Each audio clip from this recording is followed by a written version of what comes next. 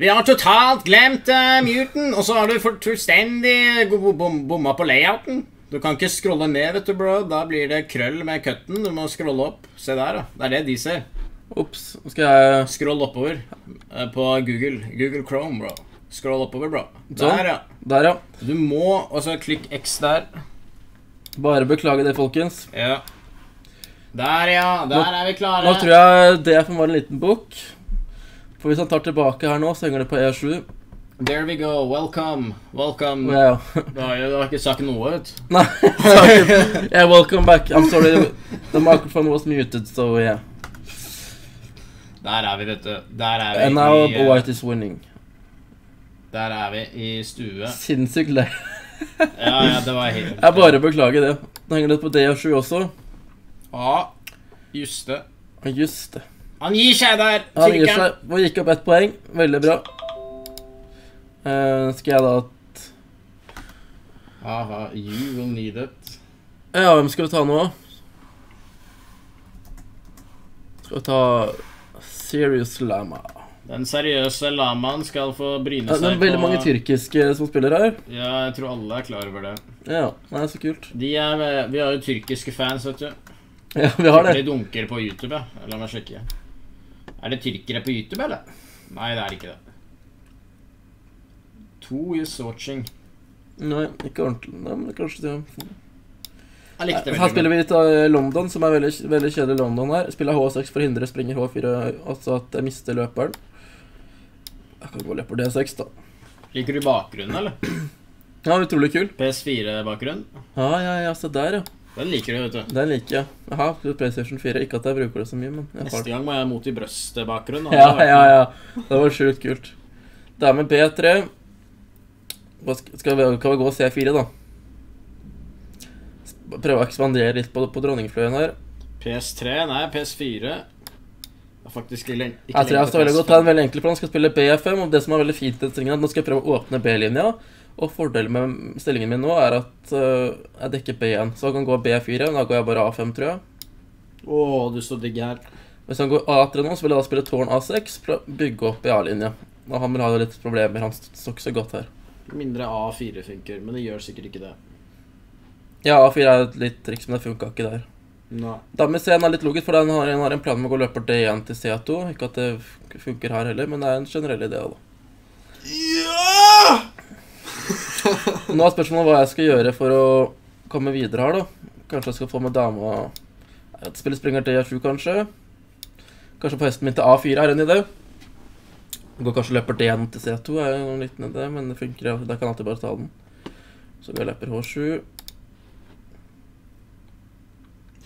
Han er veldig solid, han er veldig solid her, men um, får prøve å knekke han etter hvert.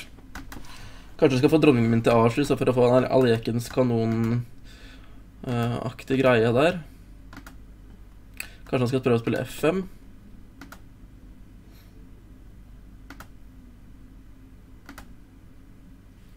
Kanskje det, du. Kan gå dronning E7 for å unngå det, da. Så vi springer B6, og så klarer jeg at å gå med dama til E7. Til A7, mener jeg. Beklager. Springer A4 er også en mulighet. Det ser faktisk litt smart ut. Men da er han dame i scenen, da. Etter jeg bare tar den på E5. Jeg vet ikke om det var det beste, men La oss spille, spille springer A4, da fulgt av dame A7.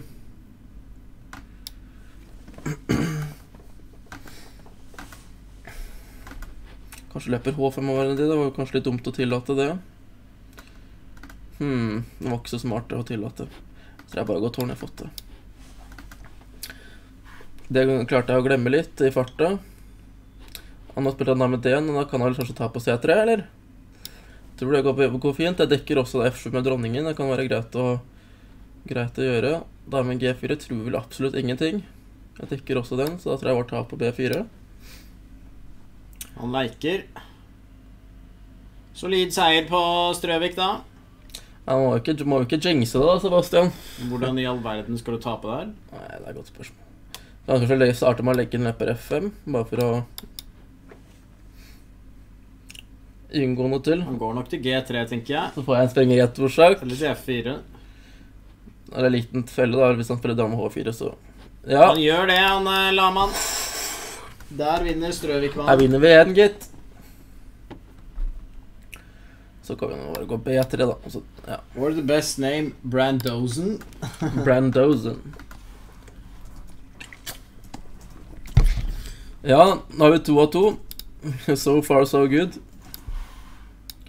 Dangerous Ride. Skal vi prøve å ta han, da? Zdravej. Zdrasti. fra Kroatia, stemmer det?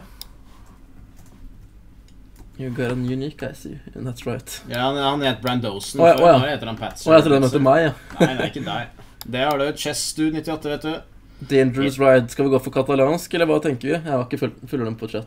Nei, eh, det er, det er litt eh, banan i chatten. Nå, prøver vi å gå, nå, går vi for, eh, nå går vi for katalansk. CJ Gray og er Blunderbukken er i chatten. trent. Ny man in B6, chess. ikke så vanlig. Raviol også, som alltid. B6 er ikke så vanlig. Det er ikke så, det er ikke så dårlig, men jeg tror man, man, går vel for, man går vel for å springe E5 her, så vidt jeg vet. Spring, Yes. Springe B H6 har jeg ikke sett før. Springe B-dørsut, så da må man gjør dame A4. A40 så se på nå. Jeg tror bare vi tar bare på D5, så tar vi en stilling. Accept my challenge. Don't worry, we will get to every challenge eventually. There are a lot of people waiting, but uh, we will uh, definitely have time for you too. Løp eventually. D5, da. Løper slår D5, ja. Skal jeg vel gå for E4, da. Det er ikke sikkert det her ble så fantastisk. Jeg står vel litt bedre, da, men uh, det er vel sikkert ikke så, så rått. Nei da, det står fint, da. Tar jeg på C5. Ja, vi, vi har fått på Vi kan skvise litt her. Spennende å se hva han, hva han har tenkt å planlegge. C5 var nok ganske godt, godt springer D7. Dame B6. Skal gå og springe C4, da.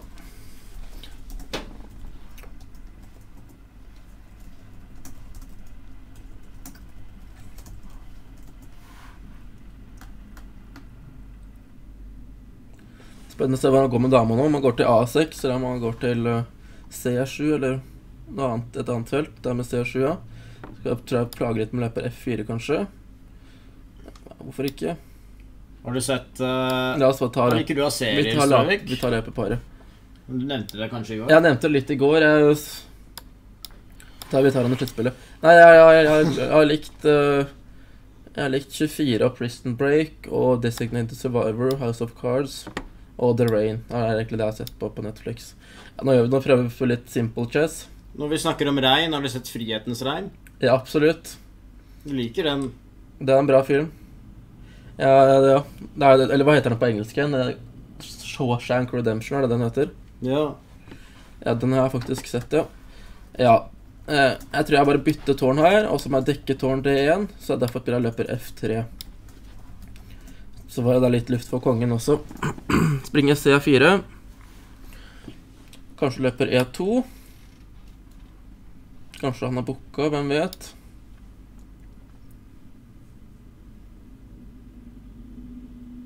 Det var egentlig et smart trekk hvis jeg ikke hadde hatt løper E2, men jeg tror det er- er ganske godt. Men han kan kanskje gå tårn D4. Men hva hvis jeg går B3 nå, da? Hei, hei. Vi ser deg litt spam her. Hvem er den beste eliteklassen i sjakk utenom Magnus? Det er vel uh, Arian. Så har vi Akkurat nå er det Arian, ja. Arian i ES, og så er det vel Hammer, og så Ja. Så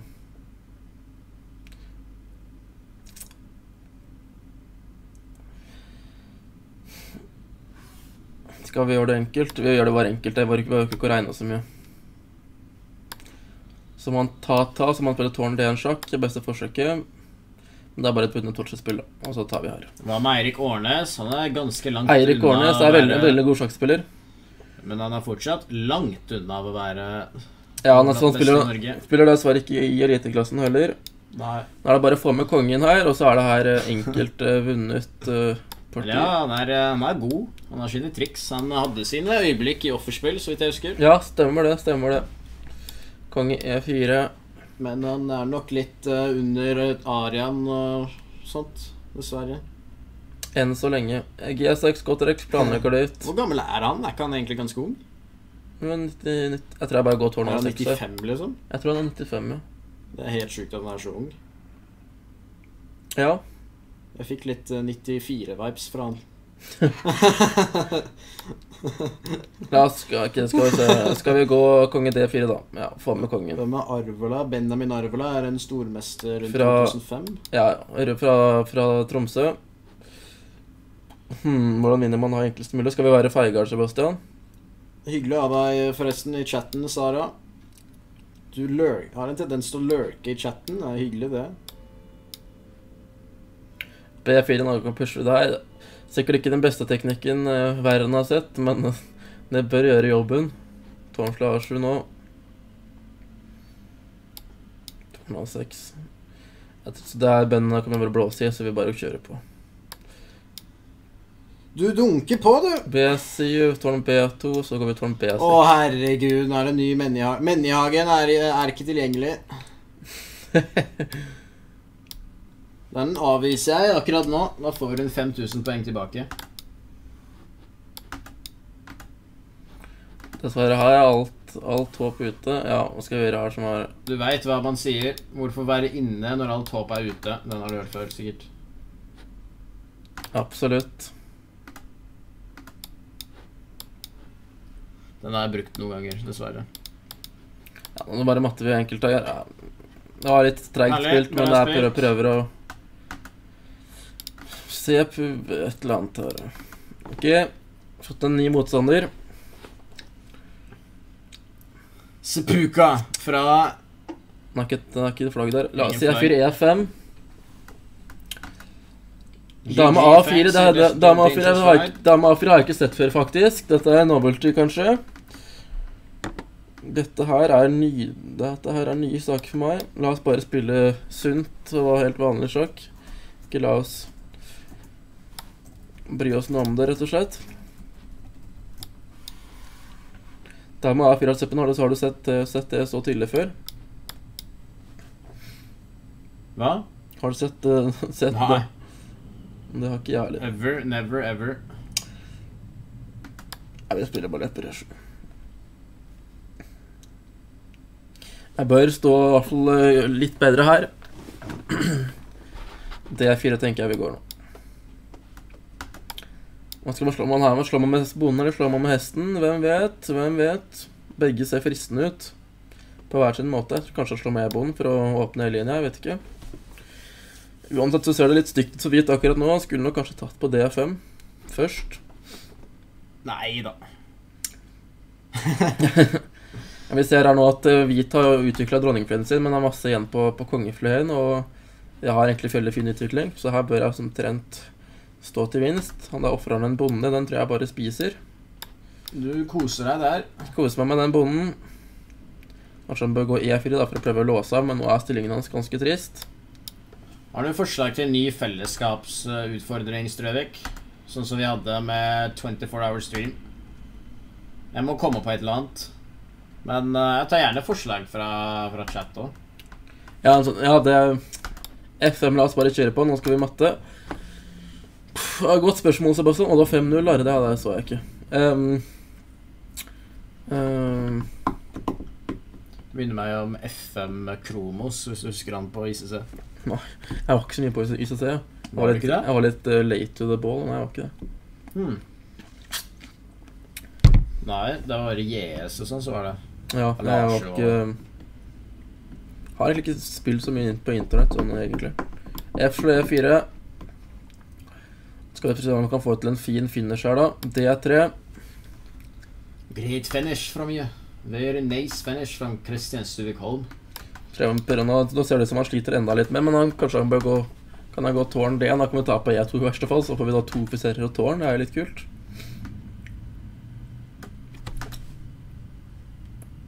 Dame D1, da tar vi på E2. Nå er huset hans ganske solgt.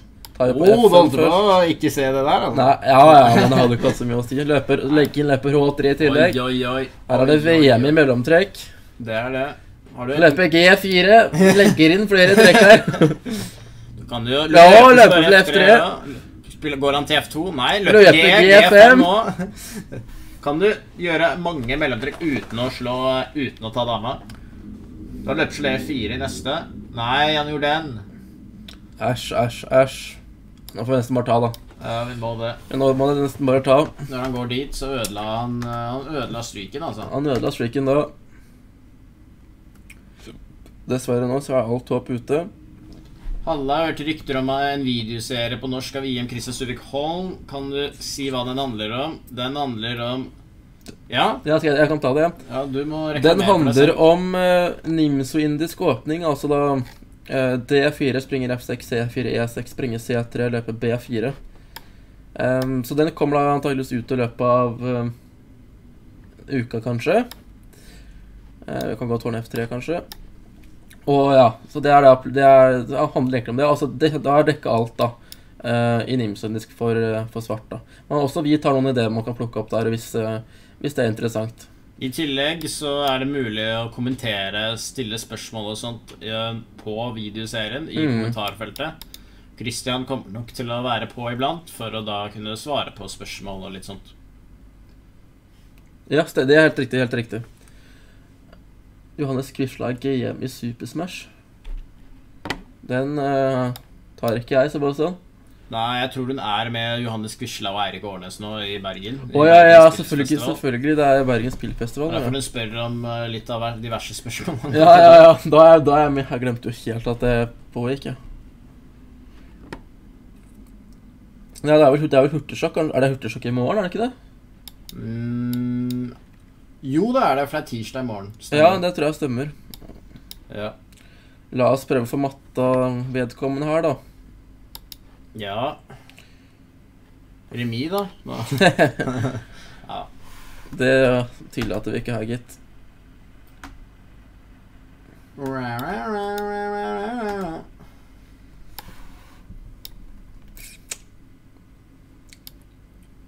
Ja, det blir matt. Det blir matt. Du så det, altså? Jeg så matten. Det var veldig bra spilt. eh, Kan vi ta premium løpe C3? Pluss C3. Han er Han guffer på. Guffer på. Han er i tenkeboksen, da, gitt. Han er det. Det er vanskelig å se hva som uh, Han guffer på, altså.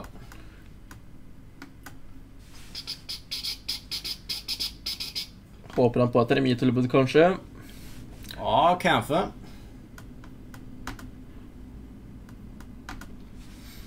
Det er ikke så mye å få gjort med det. Nei, han ga fant ut at GG, thanks sir. Det var vel det han ville skrive. Og så gir han seg der, tyrkeren. GG, sier Veldig bra spilt av uh, Sepuka. Da har du forskjellige folk her. Ja, men oi. Da tar vi eh, Kasparov-fan, da. Det hørtes bra ut. Han er sikkert veldig god. Da Sa dunker vi han. han på ironisk vis. Nei, ja vi får se. La oss dunke Karokan. Og der sto Joakim Birker Nilsen i hans forrige Banterblitz. Morsom åpning opp i lov til. Han går da for E5. Skal vi gå løper F5, da. Løper til E3 er jo ikke så veldig kritisk, så vidt jeg vet. Spiller veldig fort. Han kan sakene sine godt. Kan vel sikkert gå C5, eller starte med sprenger E7, da. Så har vi C5 nå er kanskje ikke så lurt. Bare gjør det, gjør det enkelt. Da springer D7. C5. Så her har vi fått en, en ganske god fransk TV. Vi har blitt kvitt problemløperne våre på C8. Eh, så egentlig Beat sin største fordel i fransk er at den har bedre beatføddeløper og litt mer plass. Men nå har den, måtte, den ene fordelen har gått vekk. da Så nå tror jeg at sentrum kan bli litt svakt på sikt. Det er iallfall min plan. Nå er veldig enkelt spill. Dame starter B6, løper E7, tårn C8, tar på D4 en gang. Starter med løper E7. Tårn D1. Da går vi da med B6, tårn D1, så kan jeg ikke helt skjønne hva, hva egentlig hjelper stillingen hans. Um, tar vi på D4 nå. B3 er alltid en liten svakhet, for hvis i når den, Hvis tårnet går til C- C1 en gang, så er jeg alltid løper A3, og så er det litt ubehagelig. Men tårn, så her står det nok veldig godt, bare. Så rokerer vi. Nå tror jeg jeg kommer til å vinne i C-linja pga. akkurat løper A3-ideen min, da. Så det er iallfall uh, Vær litt forsiktig med Ja, vær litt forsiktig her nå, fordi springer G for meg gjennom i idé. Så da må jeg faktisk gå G6. Vi får håpe at han ikke tenker på det. Ja, han gjorde ikke det. Spring, da går jeg springer B4 nå, så har jeg full kontroll på C-linjen. Kan ikke selvfølgelig gå tårn, men jeg har lyst til å gå dame A6 her. kan, fordi springer G5 nå, så kan jeg vurdere da med D3, bare for å være eh, Eller det går kanskje ikke, for da kan han bytte, og så kan han gå og springe B1. Hmm. Så for kanskje ikke for kanskje droppe det. Skal vi kanskje gå F5? Jeg dekker tross alt E6 i bonden. La oss kanskje gå F5, da. Jeg syns G6 var litt stygt trekk.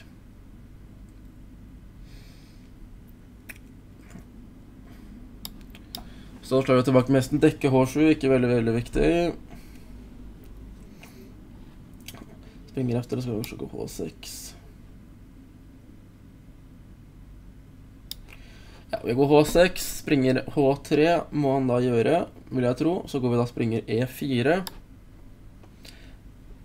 Det er min plan. Han går H4, han er Kasparov til, men den tror jeg bare vi tar. Så ikke helt at det er farlig. Han har tross alt ikke en H-linje å angripe i. Så er dronningen hans litt boksa inne her.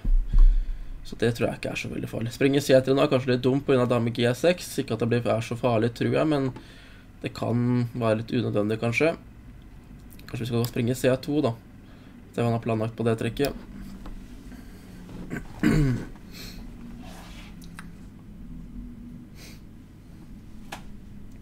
G6 og var planlagt. Jeg ser en morsom idé her vi kan ta der. Vi kan ta på F1. Så kan vi faktisk, hvis vi vil være feige, så kan vi da ta på F1 her også. Det er et morsomt trekk. Slå med kongen, så har jeg gaffel på D2. Slå med dronningen, spiller jeg tårn C1. Og så har vi bare fått bytta alle brikkene, så er offiser over. Rett og slett. Noen ganger er det egentlig ofte det beste. Det var ikke veldig farlig angrep, men det er greit å bare få av brikkene, så man vinner, eh, begynner fortere.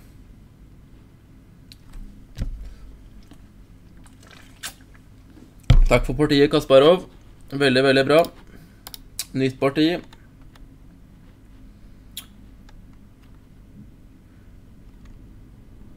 Vi kan ta Nå spiller vi mot Sara Marie.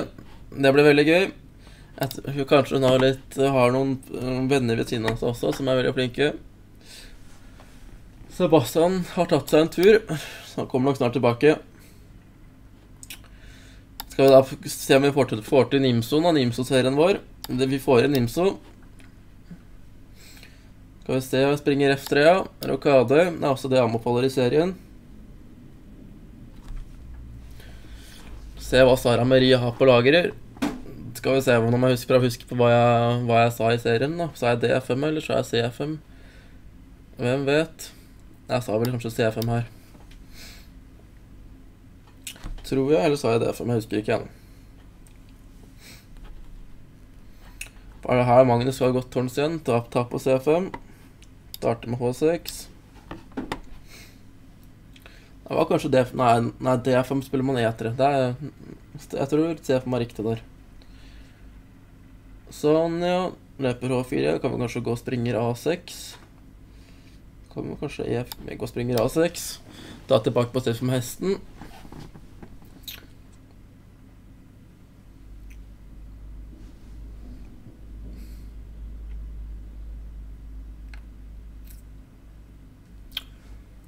Dame C2 dekker der.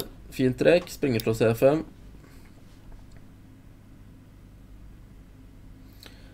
Her må vi da spille litt, uh, litt aggressivt med svart. Og prøve å få men ikke så kan jeg miste løpet og så står jeg kanskje litt uh, Litt passivt. Eller altså Hvis, han, hvis hvit rekker å utvikle alt, alle brikkene sine, så kan hvit bare stå best. Men det her ser egentlig ganske greit ut for svart, da.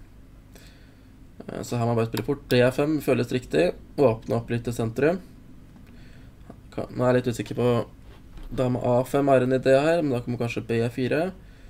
Så det er ikke noe jeg vil, så da spiller jeg B6. Kanskje får løperen til A6. Tårn C8 veldig fort. Springer D2 og spilt. Jeg tror jeg tar, for hvis den nå slår med dronningen, så henger det på C5. Det tror jeg er godt for meg. Tårn C1. Kanskje bare gå C4, da. Litt Det må, sies at denne bindingen er litt grann irriterende skal være såpass ærlig å si det, altså. Kan Jeg tror jeg bare går G5 nå. Planen er uh, løpe G3, springer E4. At jeg har muligens en sjakk på A5 da, når, den, når den tid kommer. Det er min eh, plan. My masterplan. Gi meg en sjakk på, på A5. Det er nok litt ubehagelig på motseg, kan jeg se for meg. Det er viktig å huske på at jeg ikke kan gå tårn B8, som egentlig er kanskje et godt trekk, for løperen dekker.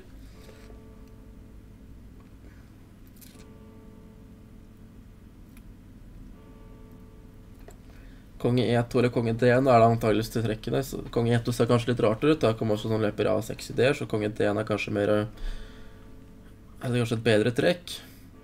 Her kan vi selvfølgelig gjøre mange ting. Vi kan, vi kan sjekke da om Sara har lyst på et sluttspill. Vi kan også vurdere løper D7 til A4. Det er kanskje morsommere, men la oss være litt feige her. Ta ned sluttspillet. Litt i min stil. Litt i min stil. F3, da tar vi løperen også, tror jeg. Og så går vi konge G7. Og så er vi da en stund bonde over. B5. Skal spille på B4 en gang. A3, så har vi tårnslå A3. Og nå er partiet dessverre objektivt sett over. Så skal vi da B4 også, så er tårnet da fanget. Kanskje man kan prøve konge B2. Ja, men da kan jeg kanskje bare flykte tårnet tilbake igjen, da. Det var bra spilt, Sara. Bare Da fikk jeg også vist uh, Nimso-serien min, da. Det var også litt gøy. Løper på kongen B, så går jeg kanskje på løpet B7, ta på E4 her.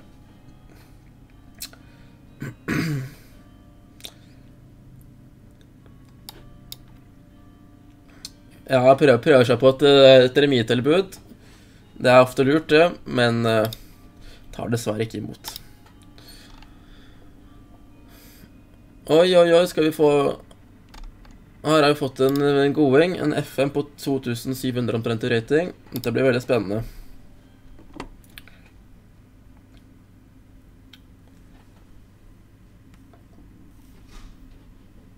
Så skal vi da gå for E5, nå. Springer C6, springer F6. Ja, nå er Sebastian tilbake. Han er tilbake, ass.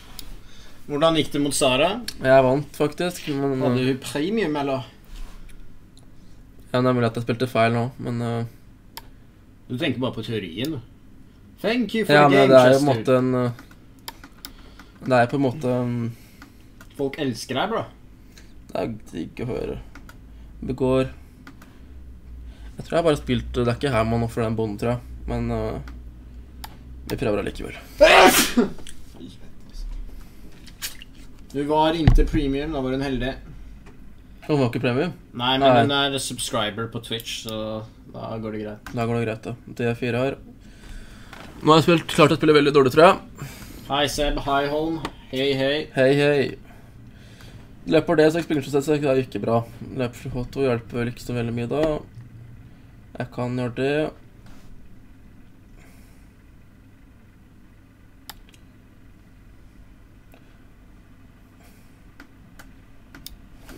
Det, det var ikke her man skulle gjøre det, da. Her skulle man skulle Etter rokade, så skulle man gjøre noe annet. Jeg vet da faen. Men, men nå må jeg bare konse litt her. Eh, ta, ta, ta, ta. Hmm. Der er jo virkelig ikke bra i det hele tatt. Får bare gå hit, da.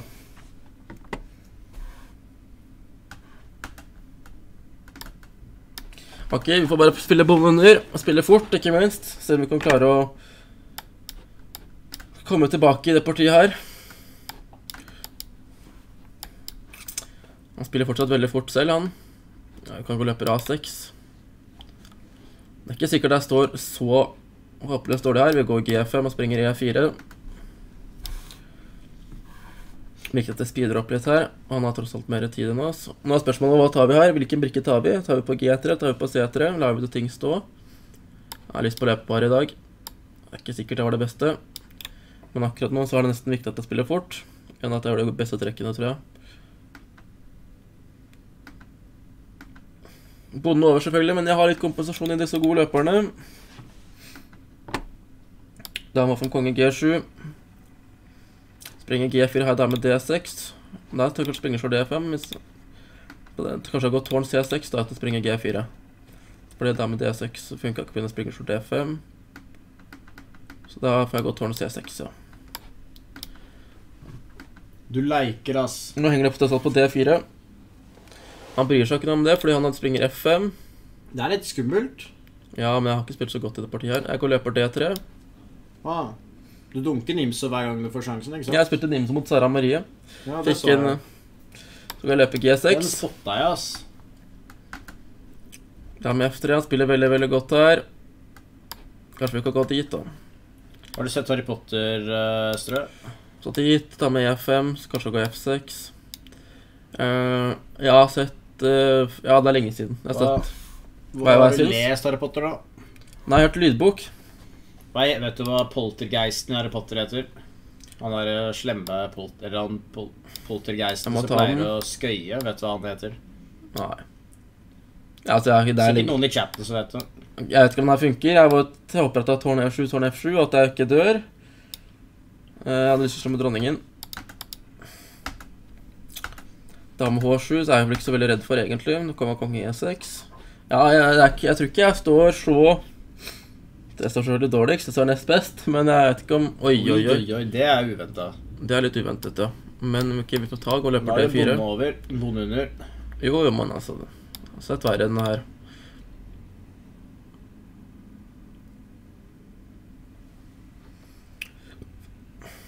Går man A5, eller gjør man ikke det?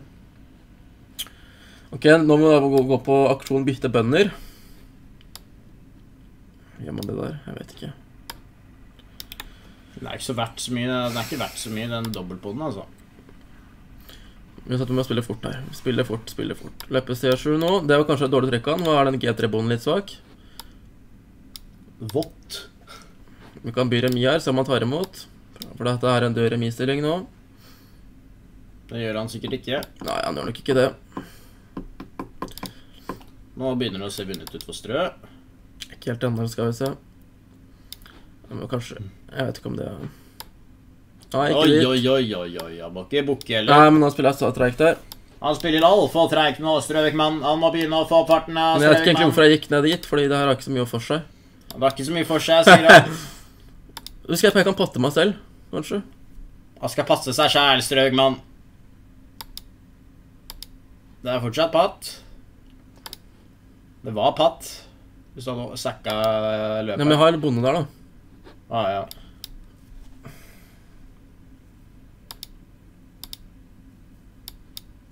Han går bare fram og tilbake, han. Det er ikke patt heller. Jeg kan gå fram og tilbake med Nå er det død remis, er det ikke det? Nei, det er ikke det, vet du. Det er tapt. Det er tapt for Strø. Det er tapt for Strø. Oi, det var, jeg trodde nesten det Veldig bra spilt av Jupp-Jupp. Det var en dårlig åpning av meg, faktisk. Jeg må bli miksa et eller annet. Oi, da må jeg egentlig dra, jeg, sa påstand, for å rekke Må du det nå? Så må du ta over. Klarte å avslutte på bunn, det var litt dumt, men Ja, toget mitt går 21-28. Og du har masse folk å spille mot her. Ja. Ja, sier jeg takk for den lille banterblitzen. Det var veldig, veldig gøy. Yes, det var bra. Åh, så ses vi igjen. Hvor du har Tave, Sebastian, og så kose deg.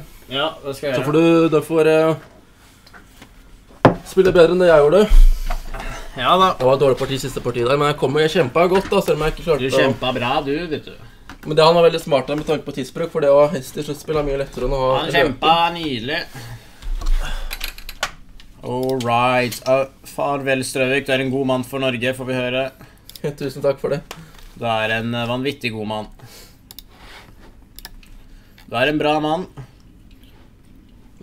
Jeg skal spille Nimisu i hvert parti. jeg. Gjør det, gjør det, får ha Nimso og Berlin i hvert parti. Det var dumt av meg å spille Berlin. Det var, kunne jeg ikke så godt. Hæ? Jeg spilte, jeg spilte Berlin jeg nå i stad. Du kan jo det godt. Jo, jo, men jeg booka jo bondetrekk 5, tror jeg. Da, jeg vet ikke helt. Vått. Ja, det var derfor jeg sto så dårlig. Ah. Hm. Pussig.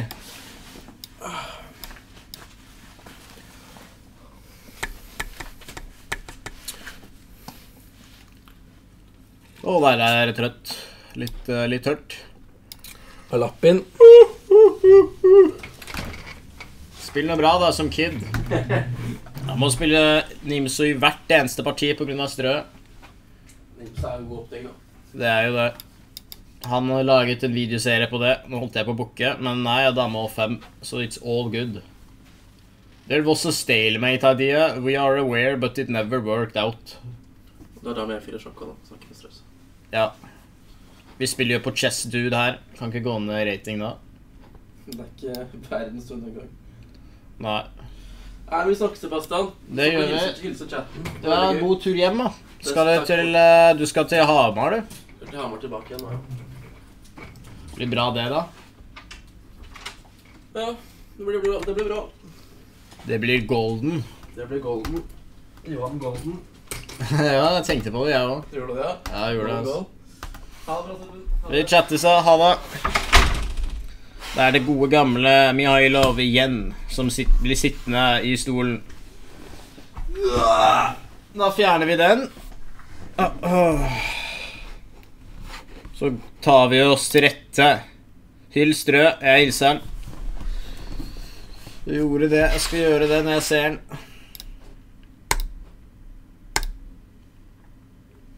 Vi hilser Strø.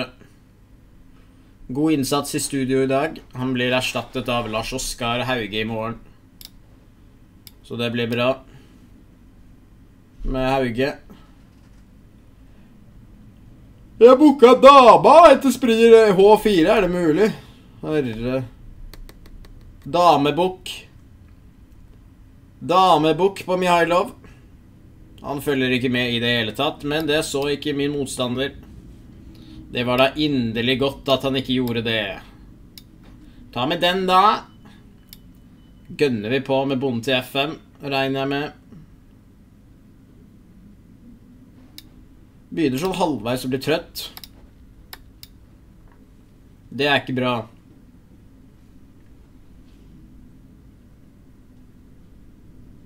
Yes, yes, yes, yes, yes. Blunder Panda, was ist los? Ok, her guffer vi på med, med ditt og datt. Den, ja. Ja vel, ja vel. Da går jeg hit. Går det an? Kan ikke bli trøtt på denne tiden av døgnet. Det er ikke bra, det. Krise. Krise, altså. Slag. Slag. Så har vi H4 i neste. Hvis jeg er trøtt nå, se for dere hvor trøtt jeg er etter 24 timer dunking. Det blir helt eh, Det blir helt sjukt, ass.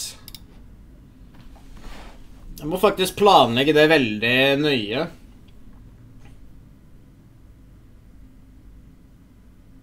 Men jeg tror det skal bli bra.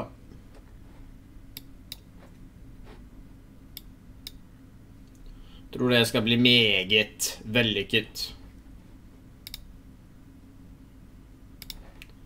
Meget vellykket, akkurat som eh, dette partiet er. Blir matt nå på The Sharky Horse.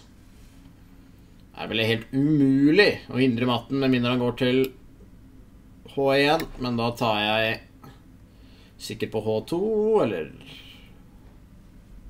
Ja. Det ser bra ut. Fjerner vi alt forsvar foran kongen hans? Dame F2, vel? Dame F2 løper G1 er til og med mulig. Pga. tårnslag G1, tårn 8, men uh, Og dame H2, slag, slag, dame H6, så vinner jeg litt av hvert. Yes, da gjør jeg den. Det så veldig bra ut. Kunne jo gjøre egentlig alt mulig. Løpe G3, så GG. Alt er GG. Slag, og så den. Slag, den. Så henger det på D2 og B... E, og eh, F1. Nei, D3, mener jeg. Det blir matt på F2. Og vi vinner igjen. Nydelig. Nydelig spilt. Der gir han seg. Thank you. Thank you, thank you. Da er det 'Striving for Perfection' som er neste. Hva gjør vi? Igjen Skal vi spille som Strøvik, da han spiller D4? Spiller han C4. Så spiller han Spiller han ikke han fort vekk den, da? Og den. Vi sier det, vi. Vi spiller solid, da. En dame C2 med raner. En uh, pen moraner, meraner holdt på å si moraner. Det vet jeg ikke hva er for noen gang. Pen moraner, hva kan det være? Løper B2. Går vi bare rolig til verks her. Rolig. Jeg kan allerede spoile at uh, At det blir uh, At det blir uh, Norge mot Brasil i morgen. Det blir bra. Det blir nydelig. Gleder meg til det, må jeg si. Nei, nei, nei, nei. Nå er den i gang igjen. er fin, den, selvfølgelig. Fin, den. E5, ja. Greit, det.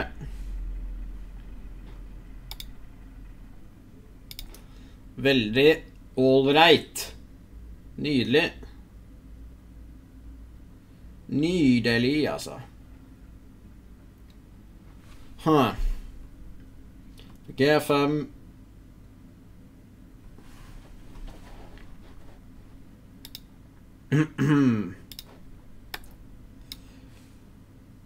Syns. Du kan ikke bare gå rundt og synse.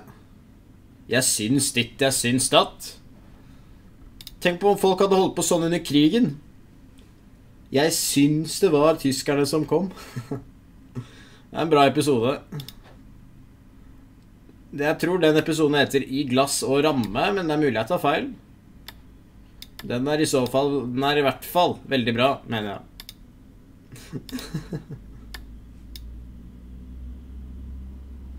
I saw the analysis that he actually blundered the screen, but I did not notice. Yes, that was what I mentioned on stream. Der, ja.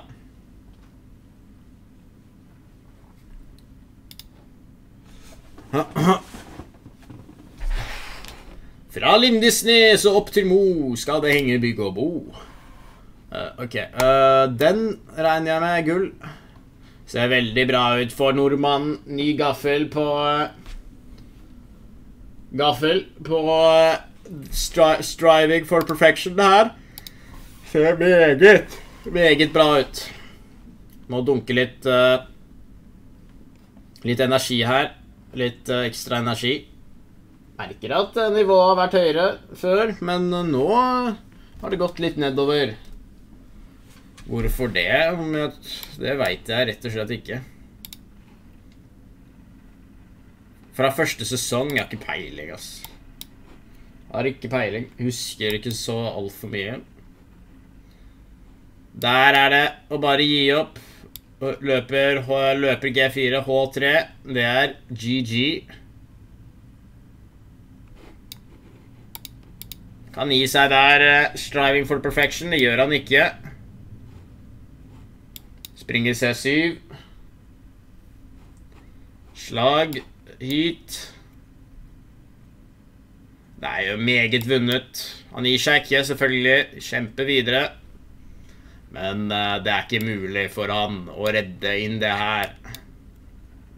Nå blir det vel fort vekk matt her òg. Vinner bonden. Kanskje han spiller G3, men det hjelper fint lite når jeg spiller den. Og så der er det matt. Da sier jeg Deba, Deba Maikata og eh, merci. Takk for nå. Det er en del uh, oh, Sebastian Lover 06 er tilbake fra Norge. Hvem kan det være? Får vi fotballyd? Nei, jeg tror ikke det. vi får det i dag, dessverre. Men uh, har vi Sebastian Lover 06, da. Sebastian Lover 06. Hvem kan det være? Mm, en fransk, da. D4, D5. Eller vi hører ingenting fra brettet, da. Nå hører dere kanskje noe. Vil jeg tro. Der, ja. Nå hører dere litt uh, Oi! Må ikke flytte brettet, da. Sånn. Og sånn.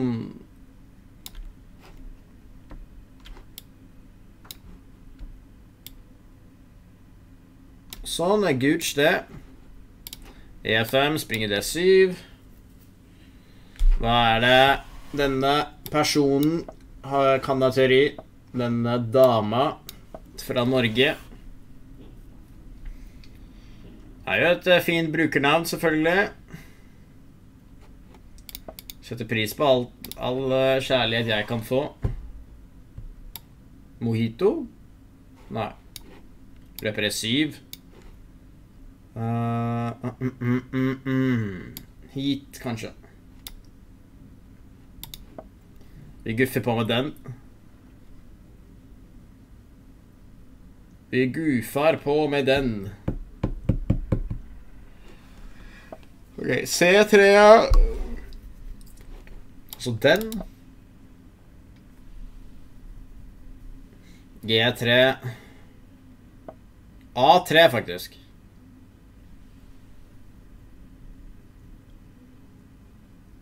Hvordan er dette igjen, da? Løper E7. Løper EHU. Slag. Og rokave. Stop spamming, symbols. Hva skjedde, CJ? Når du spiller Kid, hva gjør du mot tidlig G4? Uh, hvilken variant? Tidlig G4. Det høres jo ytterst spekulativt ut. Hun er i maks 14, er ikke sjalu. ja Hun er det, ja. Jeg vet ikke hvem hun er. Jeg tror jeg vet Eller jo. Eller Nei. Jeg vet ikke. Jeg vet ikke hvem det er. Stuvik Holm ser annerledes ut. Han måtte dra, han dro nettopp. Og da fortsetter jeg banteren, fordi vi må jo Kan ikke bare avslutte showet etter en halvtime. Så jeg fortsetter. OK, OK, OK, OK. OK, sier hun. ASD, FGH, JKL. Ja vel, hva er det for noe? Do not spam symbols in chat. Springslå FM. Men jeg har skjønt at det ikke er deg som heter Sebastian over 06, CJ. Men jeg vet Har du premium på Chess 24? Om du har det, kan du da sende Chessdude98 en challenge? En utfordring? Hvor er spy-emoten? Den er ikke til stede. Hit, eller? Hit uh,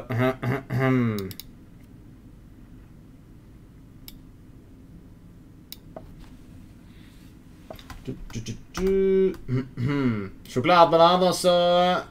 Hva var meldingen? D4 spilling F6, C4 G6, spilling C3, løper G7, E4, D6, H3, lokale G4. Og det der, da.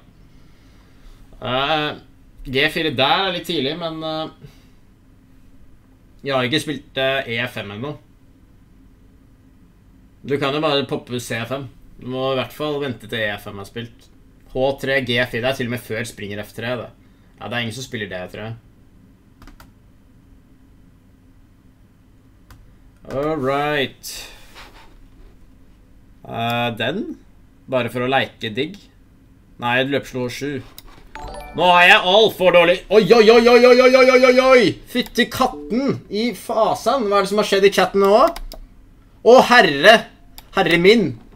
Å, fytti katta. Ti gaveabonnement til fellesskapet fra Per Springer. Fytti katten. I Nå må jeg vinne her. Nå må jeg vinne. Og så må jeg vinne, nå må jeg vinne, nå må jeg vinne, nå må jeg vinne, nå må jeg vinne, nå må jeg vinne. Oi, oi, oi, oi, oi, oi, oi, oi, oi. Vinner jeg det her, da? Dårlig tid. Løper E2, E2 er litt av et trekk, da. Løpsel F3 neste. Ja. Springer F3 hvis jeg får muligheten. Ja, det gjorde jeg òg. Da må jeg bare blitse. Han spiller Alf Nei, hun. Han er så vant til uh, Oi, tårnet fått det. Den dame har sex. Se, ser hun det? Nei, da Oi, oi, oi, ikke bytte damer! Må gå i full defensiv mode her. Det er til og med likt materielt. Jeg aner ikke hvordan det kan ha skjedd. Jeg kommer garantert til å bli flagget. Veldig trist. Ja, det blir flagget. Jeg blir flagga, så noe helt vanvittig. Jeg blir flagga. Første gang i manns minne er Sebastian flagga. Nei, men nå må jeg bare si uh, Fytti katta, altså. Per Springer Per Springer har gitt bort ti gaveabonnement til Chess24.no. Fytti grisen. Til uh. Det var uh, Nei, det var en helt sinnssyk overraskelse, det må jeg bare si. det må jeg bare si Tusen hjertelig takk. Jeg vet ikke hva jeg skal si engang. Jeg vet ikke, jeg vet ikke hva jeg skal si engang, ass.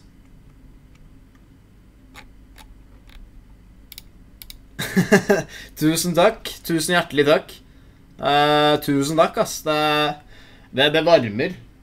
Det varmer virkelig, altså. Tusen takk. Uh, tusen hjertelig takk.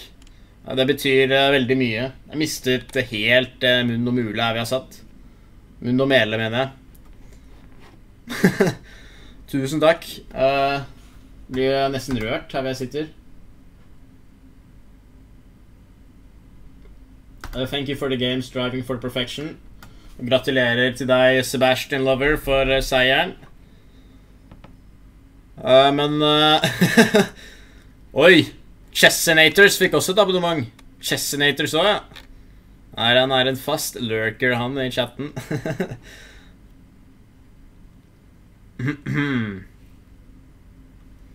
uh, Noam, ja, han er tilbake. Uh, ja, igjen, Per Springer, tusen hjertelig takk. Uh, tusen hjertelig takk for uh, ti gaveabonnement til kanalen. Da har vi jo nådd Hvor mange abonnenter har vi nå? 50, nesten? 42 personer.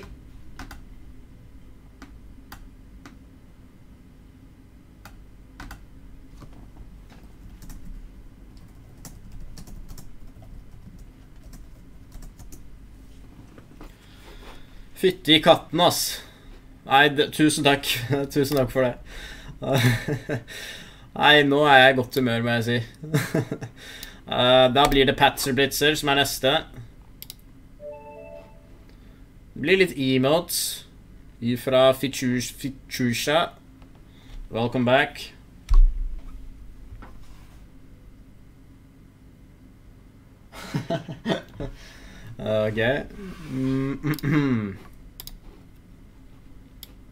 Ok. D4. Da må vi spille Nimso. Det er det vi har blitt beordret av, eh, av Strøvik. Seb, så jeg synes tidlig springe G2, springe G3 er litt irriterende. Kan man bare poppe H5 med svart, da? Uh, ja. Uh, eh, H5 er bra. Løper G5, det er en sideline. Er det C5 da, eller? Det blir fort vekk C5. Springer dit. Du skal ikke bli glad, du skal bli Å, passe meg, ja vel. Nei, jeg er i godt humør uansett, det er på grunn av ti gifted subs fra Per Springer. Det betyr eh, Det betyr mye. jeg blir helt i sjokk. Oi, oi, oi, han guffer på. Han goofer eh, på. You got flagged by Sebastian Lover. There is much to learn from this situation. Very true. Very true. Crew, Crewridere med chat. Twitch Unity. Det er en fin emote, det. Tanker om French. Fransk? Nei eh, Selve språket er ganske vanskelig å lære seg.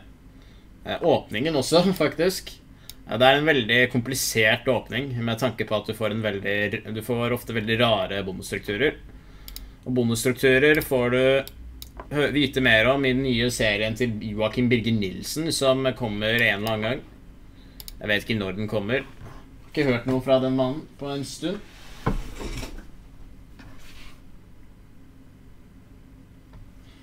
Ok.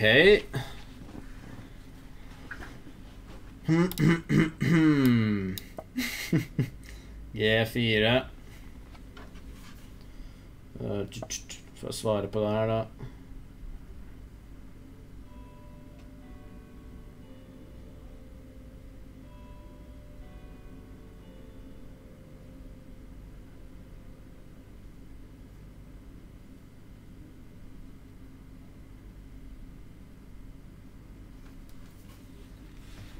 Der måtte jeg svare på den. Men nå begynner det å bli dårlig tid i, i, i huset her. Dårlig tid. Bedre på brettet enn i Kongo.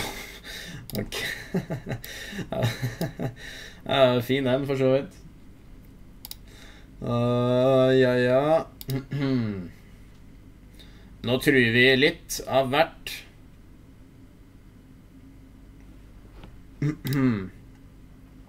It's me, your Bulgarian friend.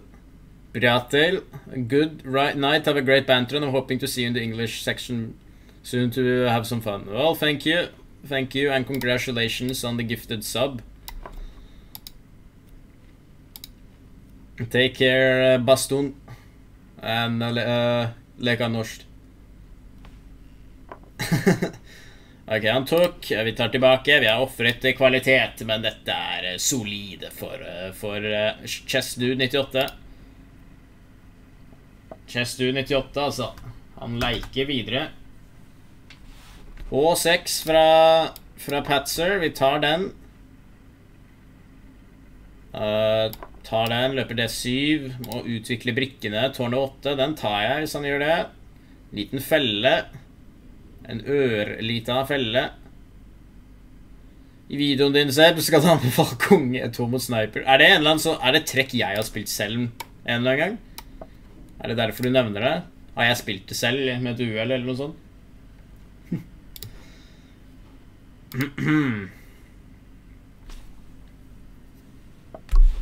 Tårn H2, så dunker vi G3.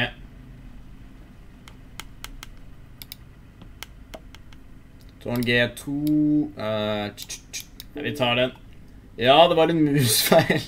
Å ja, det var det jeg trodde. Morsom den tikker det inn. Her går vi hit.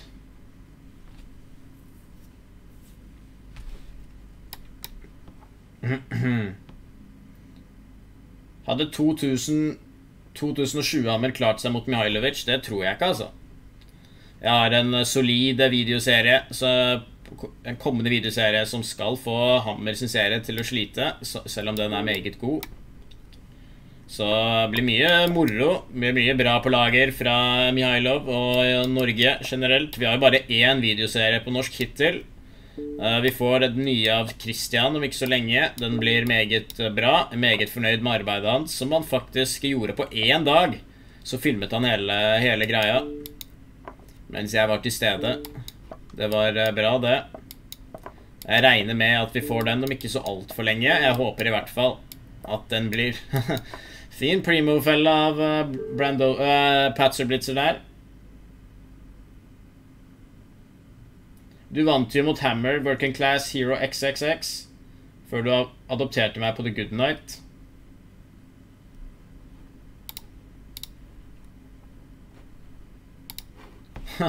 Å ja, så eh, Working Class Hero og CJ Grey er bekjente, ja.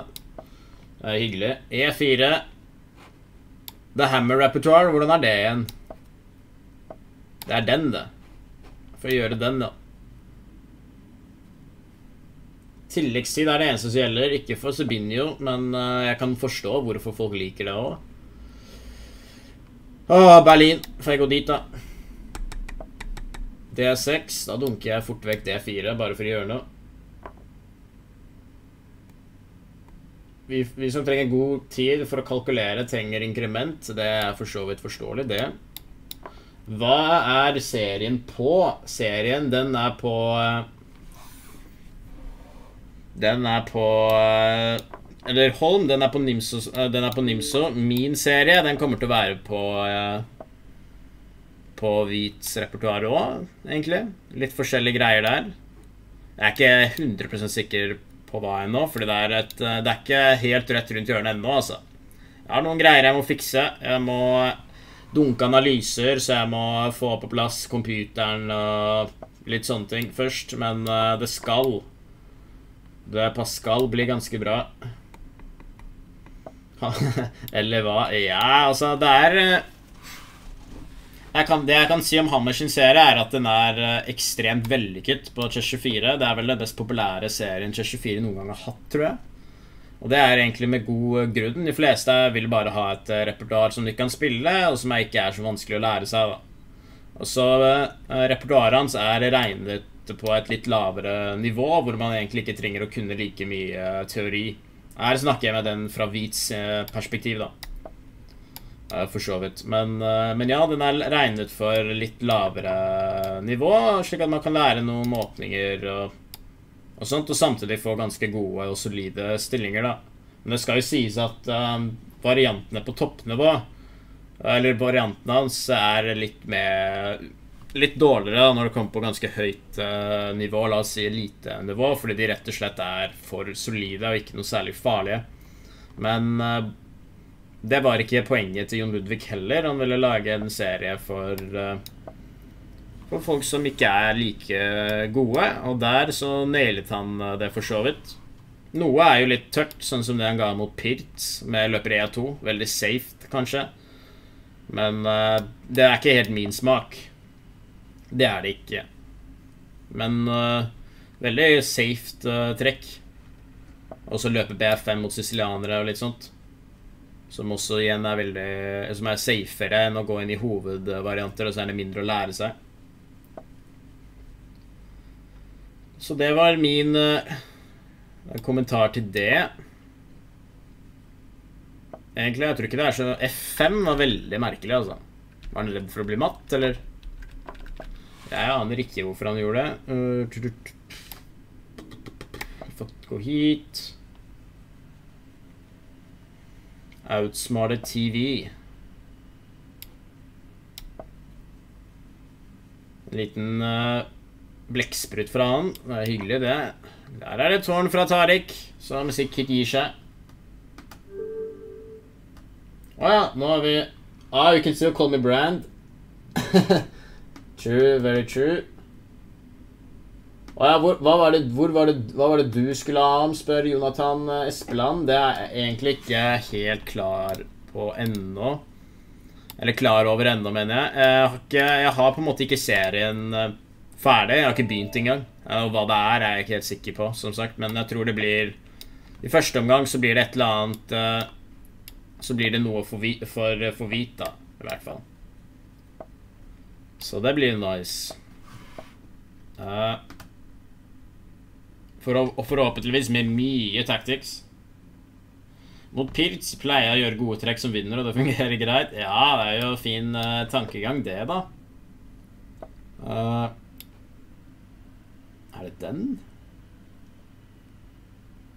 Ja, det er det. Strø, han måtte gå. Veldig synd. Det er veldig synd at han måtte forlate åstedet her. Tidlig H4 er bra her, altså. Uh... Strøvik, hva er det han anbefalte i serien sin der?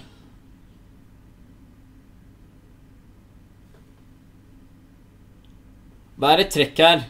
Er det C5? Løper A6, veit det er det gamle. Men det er ikke det som er trekket Strøvik anbefalte her. Åh. Jeg vet med sikkerhet at 10 H4 er kritisk. Og etter 10 H4 så er løper A6 mulig. Går han hit? Han gir dame D5. Det gjør han ikke. Jeg vet at H4 har blitt vanvittig farlig i en eller annen variant. Kanskje det er løper A6 allikevel. Det er kanskje den, da. Eller er det ikke tull at han, dame D5 er umulig? Nei. Vi sier C5. Vi gjør den, vi. Jeg har ikke peiling på hva jeg. H4 veit jeg er kritisk, men det er sikkert ikke her. Ja, ja eh, Jeg vet at løper av 6 er teori, da. Husker bare ikke når. Pokker heller.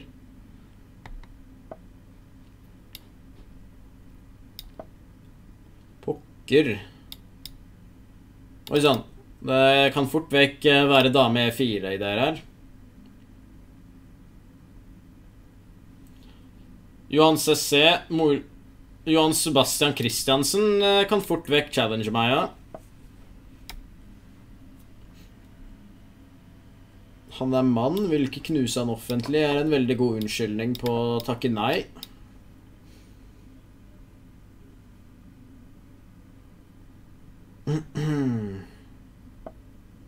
H6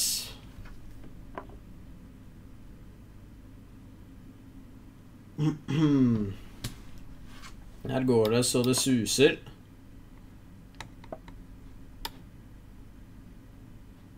Irriterer meg at jeg ikke husker hva som er, eh, hvordan den H4-varianten fungerer, for H4 er ekstremt populært og komplisert i et eller annet i dame C2 og D5. Men jeg husker ikke varianten. Det er så frustrerende, ass. Jeg kommer til å få ikke sove i natt før jeg har funnet ut av det. Det får jeg ikke gjøre. Nei, jeg vil ikke ta Springer D5.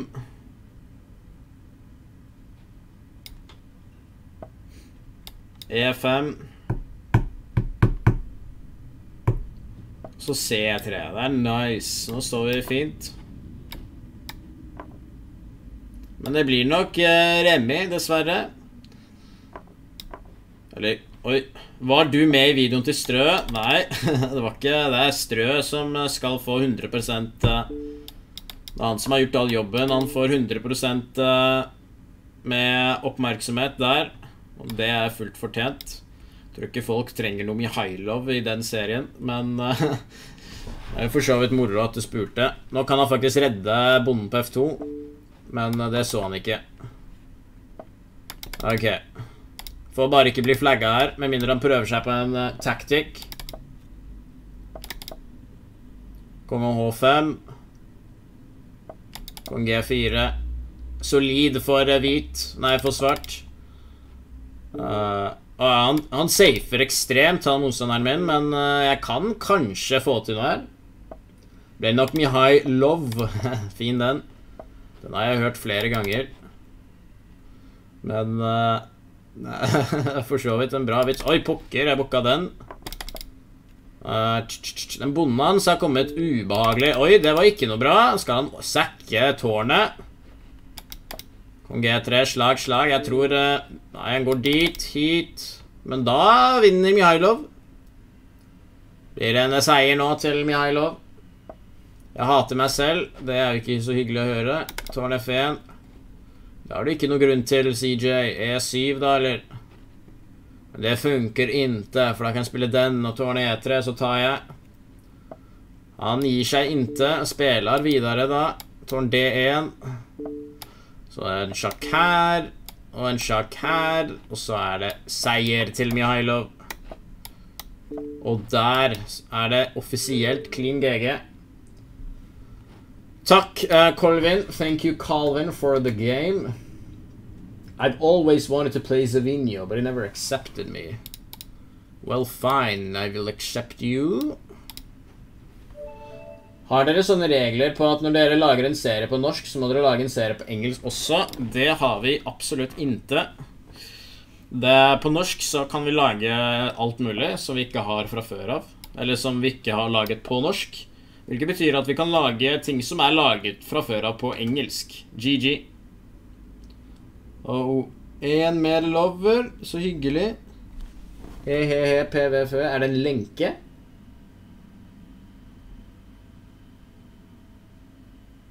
Jeg skjønner ingenting, jeg. Han spiller dame E2. Da er det E5 som skal være Gooch her. Da, har vi fått E4, E5 med dame E2 innlagt, som egentlig ikke er uh, ideelt. Det som er gøy, er at hvis han nå spiller dame, dame D1, så får vi E4, E5 med tempo over. Utrolig nok. Uh, Spis E6. G3 løper C5, tror jeg teorien går. Ganske sikker, i hvert fall. Og så D5 på et tidspunkt. D4. Skotsk med dama på E2. Hallo? Er det mulig? Hvor er denne Lars Oskar? Han er hjemme og chiller. Solid er ikke akkurat adjektivet jeg hadde brukt for å beskrive han.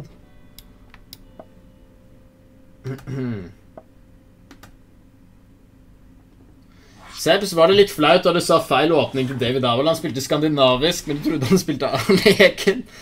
Ja, jeg syns ikke det var så flaut, fordi jeg fulgte ikke med på partiet hans i det hele tatt. Og det hadde litt Aleken-preg, det der, men uh, Ja Jeg vet ikke. Det var ikke så flaut, ass.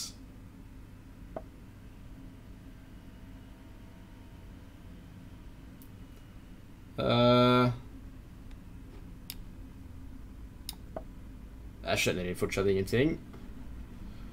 For, for spennelse er, Hva er det? Vet ikke. Litt action i byen. Det er jo som regel det etter hvert. Dunke litt vann. Er litt tørst.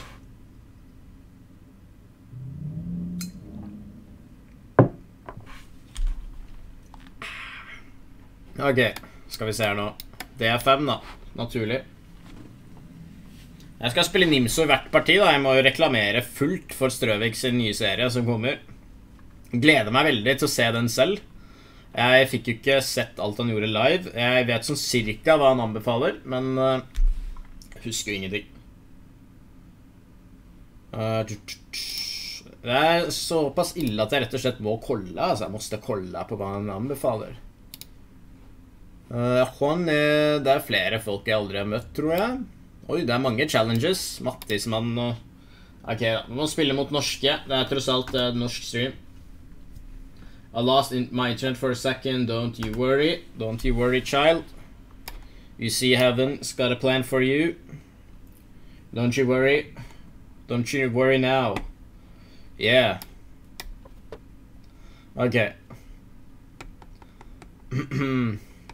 Rokade springer av fem. Jeg syns det står fint her rolig, solid for, fra Svart sin side.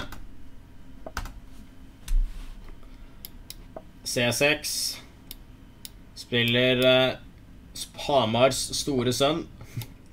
Tar da rolig tårn 8. Skal være solid fra Chessdude 98. Er en god sjakkspiller, selvfølgelig. Meget habil norsk uh, spiller som kan uh, slå hvem som helst. Den Tårn slår, så satser jeg på at vi får et strategisk godt uh, sluttspill. Favoritt Gambit. Ha. Favoritt Gambit blir fort vekk, vekk eh, Max Lange. Er ikke det en Gambit? Heter Max Lange Attack, men eh, du ofrer jo på en måte en bonde der. Gjør du ikke det? Ja, det, du gjør det for å si den, da. Jeg liker også Evans ganske godt. Under 24 timer. Blir det bare sjakk eller alt mulig sprell? Det blir litt uh, PlayStation, tror jeg. Uh, altså, det blir uh, spill jeg har på PC-en. Og så tenker jeg det, Du må jo Jeg må jo gønne på med litt ekstra Oi, jeg booka jo den. Men han taper uansett på tid. Under 24 timer Ja, så det blir litt uh, sprell. Litt uh, sprelling blir det. OK. All right. Møter vi en som er meget tørr treita. Mattismannen fra Norge. Skal vi kolla Look at bishop at night. Strange position. That's true.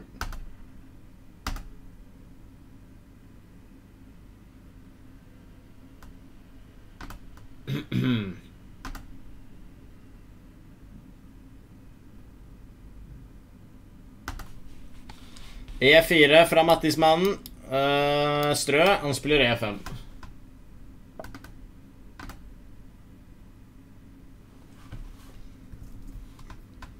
Han guffer på. Blir en rekke før 9. august. Det gjør jeg garantert ikke. Må bare What? Er ikke Magnus Tord ferdig snart? Jo, Magnus Tord, den nærmer seg eh, ferdigspilt, jo. Det er helt riktig, det. Den er ferdig eh, Den er ferdig 7. august. Finalen den spilles om ikke altfor lenge. Så det blir bra, det.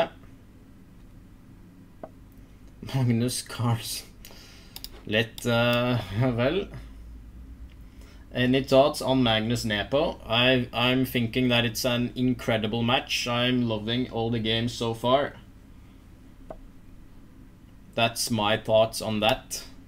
It was really great to witness everything to today. I, I really had a good time and uh, yes, it was uh, very nice. Uh, I'm looking forward very much to the games uh, tomorrow, and I'm certainly. Uh, certainly think it will be uh, it will be a blast. So thank you for your question. Uh, it's nice to get uh, questions.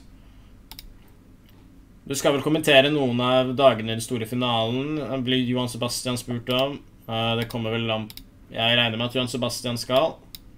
Well said, thank you. Jo, han er bortreist. Han er bortreist. Det er litt synd. Og som CJ, CJ er i chatten, hva heter den poltergeisten? You're losing it, aren't you? ja, jeg får håpe jeg klarer å holde remis her. Får håpe jeg klarer å holde remis her. Rokade. Vi får challengers i fleng, da. Det er jo meget hyggelig, det. Fytti rakeren. Og det krasja det. Ja, jo. Så Men ja, Magnus Tord, den er ferdig 20. august. Det er mulig det blir Jeg er rimelig sikker på at det blir 24 hours stream etter det. Jeg har eh, takket nei til å spille i offerspillturneringen fordi det rett og slett ble litt uh, mye sjakk. Restart? Hva babler du om nå? Restart?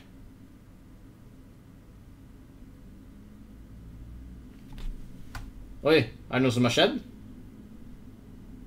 Er streamen av? Stream is over? What is going on?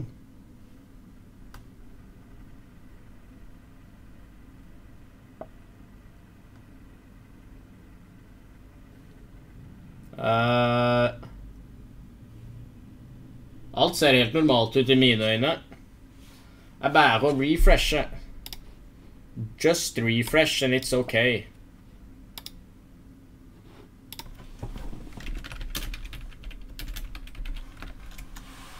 I don't, uh, don't have any confirmation.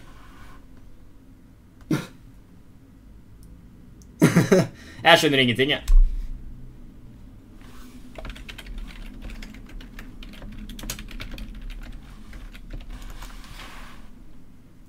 Uh, jeg har ikke peiling.